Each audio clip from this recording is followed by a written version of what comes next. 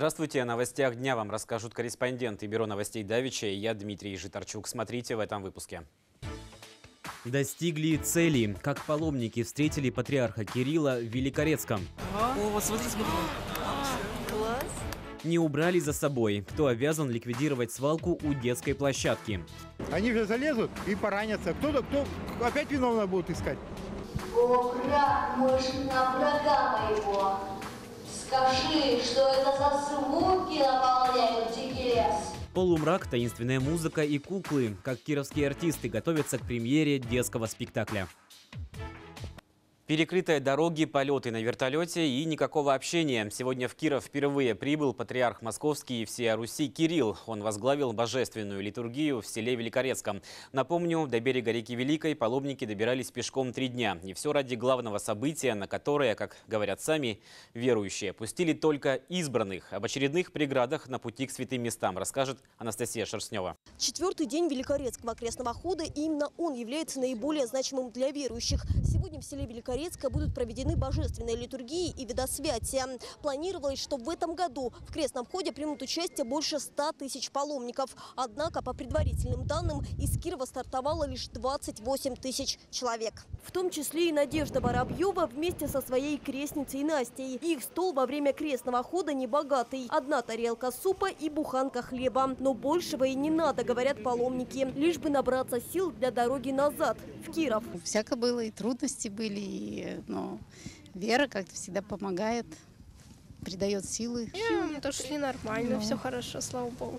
Крестный ход не зря получил статус всероссийского. К реке Великой по традиции съезжаются люди из разных городов страны. Ирина Комарова, например, приехала из Екатеринбурга. Второй раз сюда с сестрой едем. И нам очень нравится, хотим получить Божью благодать. Все равно как будто на небесах побываешь здесь. Вот. Очень хорошо. Приготовление очень хорошее. Все приготовили, все сделали. Все равно и все-таки приехал патриарх. О, смотри, смотри. Класс.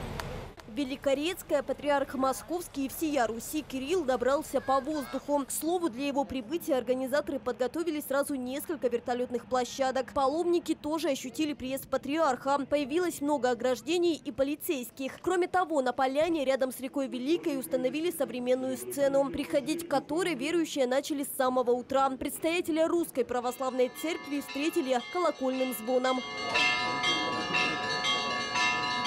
Патриарх Кирилл возглавил божественную литургию, которая длилась около двух часов. На причастие к нему допустили лишь порядка 20 человек. Великорецкий ход самый большой по протяженности и самый древний. И я хотел бы принести величайшую благодарность вам, мои дорогие православные земли Вятской, что вы сохранили эту традицию. Также патриарх провел водосвятный молебен у Никольской церкви. Но были и те, кому не удалось это увидеть. Дальше ограждения некоторых паломников не пустили. Одной из причин, по их словам, послужила грязная одежда. Взяли нас всех не пустили. Нас гоняли с одного места на другое. Ну, то есть как бы перефутболивали.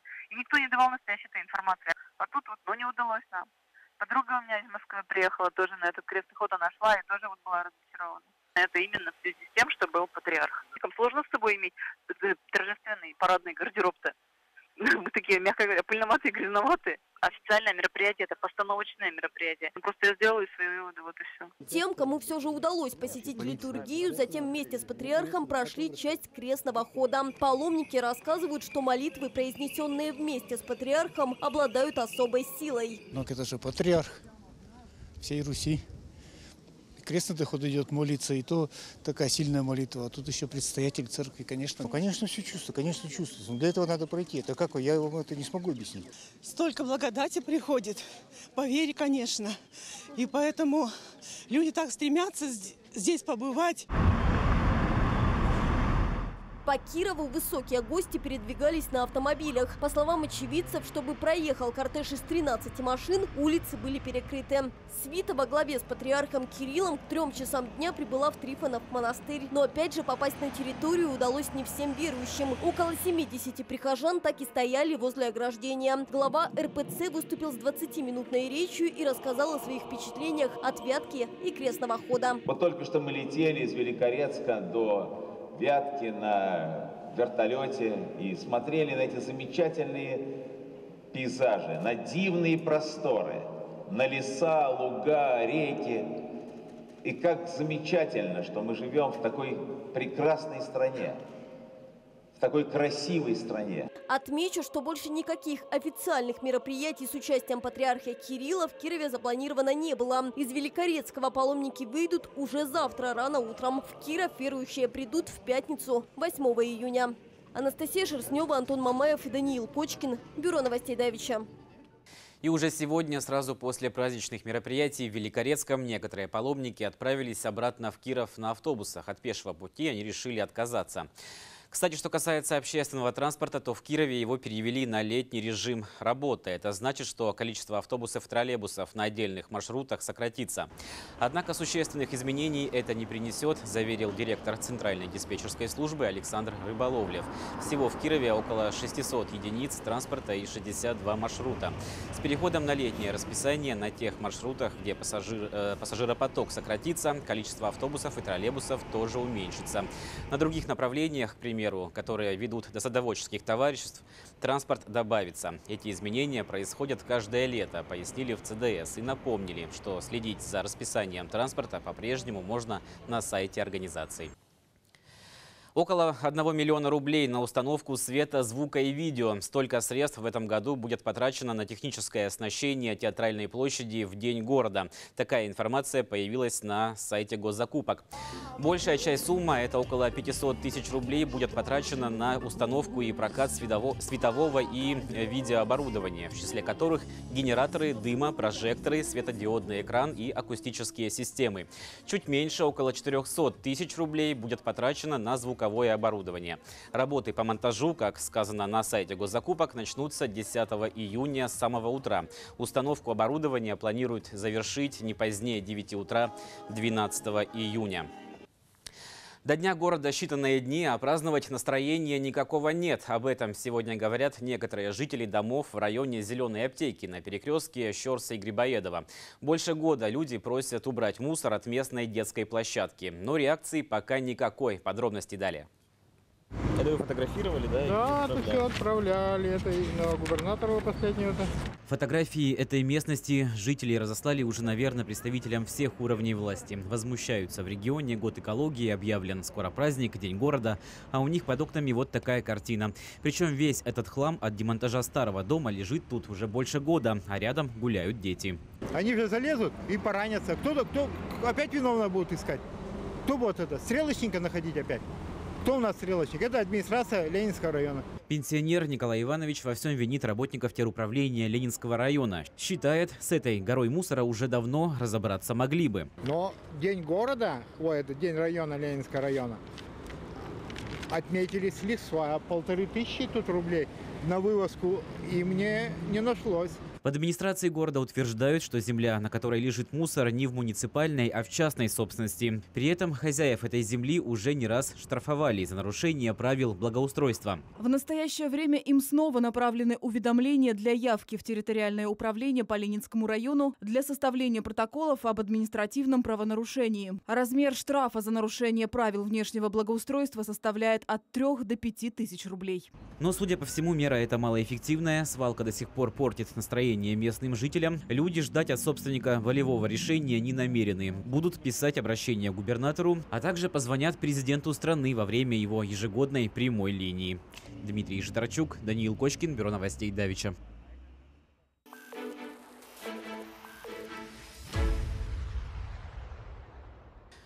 Очередная попытка связать два берега реки Чипцы. В эти дни строители завершают монтаж наплавного моста неподалеку от Кирово-Чепецка. Напомню, мост в том районе уже строили, но во время ледохода еще в 2015 году сооружение уплыло. С тех пор мост на время половодья каждый год разводят, а после того, как пройдет ледоход и вода спадет, монтируют вновь. Правда, на данный момент уровень воды еще на метр больше нормы, но власти района решили, что наплавной мост уже можно монтировать, тем более, что это этого очень ждут жители Каренторфа и нескольких отдаленных сельских поселений. После установки моста этот, э, это будет самый короткий путь до Чепецка и в конечном итоге до областного центра. Подрядчик планирует завершить к пятнице по, сборке моста. Соответственно, в следующей неделе будет э, организована выездная комиссия, результатом которой, результатом которой будет принято решение об открытии движения через наплавной мост. Кировская область вошла в число регионов-лидеров по борьбе с коррупцией. По данным Национального антикоррупционного комитета, лишь 11 регионов России выполнили национальный план противодействия коррупции. Добавлю, что сейчас впервые введена персональная ответственность глав регионов за реализацию этой программы. О других новостях города и области расскажем в коротком видеообзоре. В Кировской области предложили ремонтировать дороги за счет софинансирования частных предприятий. С такой инициативой выступили члены региональной группы общественного контроля за ремонтом, содержанием дорог и организацией дорожного движения. На совещании группы был рассмотрен опыт Амутнинского района. Там поддерживать дороги в нормальном состоянии помогает местный металлургический завод. В частности, предприятие ежегодно безвозмездно предоставляет населению тонны шлака для подсыпки грунтовых дорог. Члены региональной группы решили рекомендовать Министерству транспорта области использовать опыт Амутнинского района.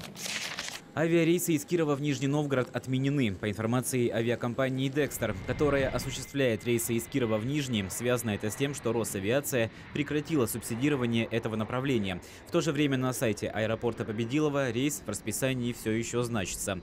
Там заявляют, что пока речь идет лишь о приостановке продажи билетов. По информации издания «Коммерсант», первоначально программу льготных авиаперевозок по Приволжскому федеральному округу продлевать на этот год власти не планировали. Однако в феврале это решение было было пересмотрено. В результате рейсы из Кирова в Нижний, Уфу и Пермь в программу вернули. Кировской области допущены к работе еще пять детских лагерей. Об этом заявили на очередном заседании областной межведомственной рабочей группы по организации отдыха и занятости детей и молодежи. На сегодняшний день в регионе работают 15 лагерей, в которых отдыхает больше двух тысяч детей. Рабочая группа также обсудила возможность допуска к работе еще пяти лагерей, открытие которых планируется в период с 6 по 13 июня. Сейчас ненадолго прервемся. Вот что вы увидите во второй части нашего выпуска останутся без света. В каких домах 7 июня отключат электричество? Полумрак, таинственная музыка и куклы. Как кировские артисты готовятся к премьере детского спектакля. Спорту любые возрасты покорны. Сегодня ветераны и школьники приняли участие в городской спартакиаде.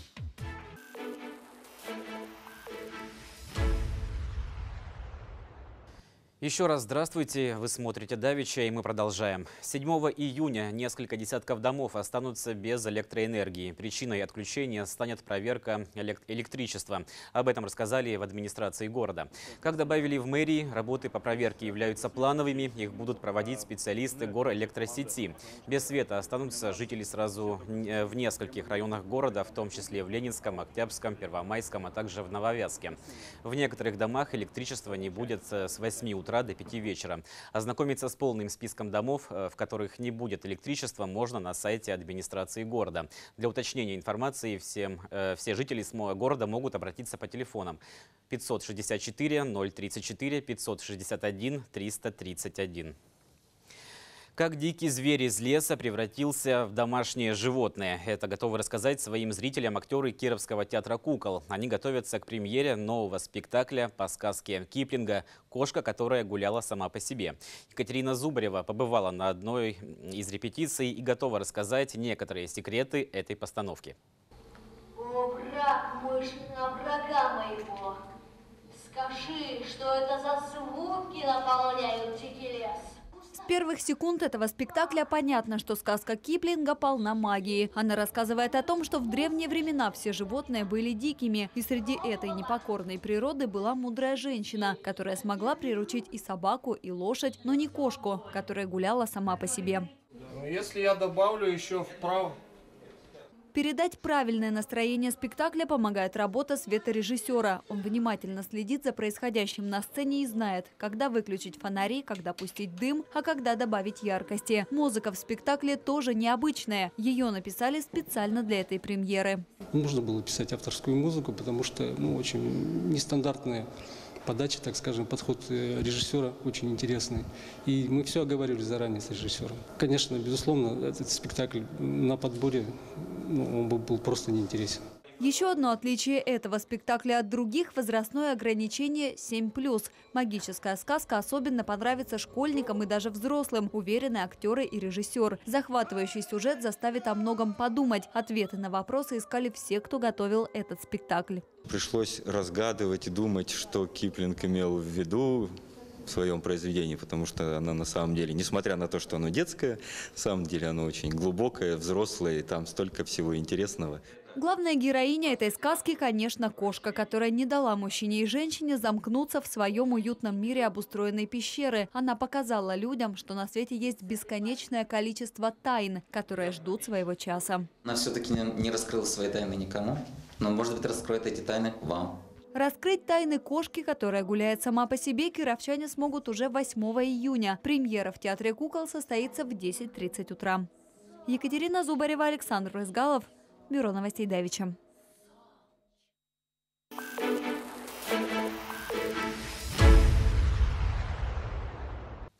Встретились со старыми друзьями и проверили физические силы. На стадионе «Прогресс» сегодня прошел заключительный этап спартакиады среди ветеранов Ленинского района. Участники, а это семь команд от различных предприятий города, прошли несколько испытаний. Это бег, мужчины пробежали 100 метров, женщины 60, эстафета, отжимание от скамьи и подъем туловища. Стоит отметить, что спартакиада длится весь год, в каждом сезоне свои задания.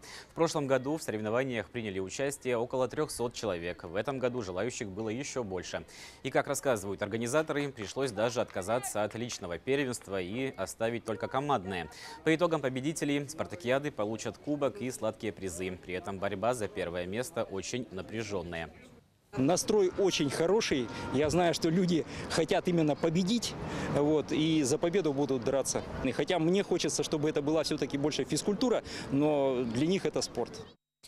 Еще одна спартакиада и тоже на стадионе «Прогресс» прошла сегодня, но уже среди спортивных детских клубов города. В ней приняли участие ребята 17 лет и младше. Они пробежали эстафету, соревновались в дартс, прыгали с места в длину и перетягивали канат. Результаты подвели в разных возрастных категориях. Эта спартакиада тоже является ежегодной. И как с грустью отмечают организаторы, количество клубов, которые принимают в ней участие, сокращается. К примеру, в этом году желание поучаствовать в спортивных состязаниях состязаниях изъявили только три клуба города. Таким был этот вторник глазами наших корреспондентов. В ближайшие минуты выпуск Бюро новостей Давича появится на сайте девятка.ру. Там же много другой полезной и интересной информации. Делайте новости вместе с нами, сообщайте о событиях в редакцию Давича по телефону 38 48 88. На этом у меня все. В студии работал Дмитрий Житарчук. Всего доброго и до свидания.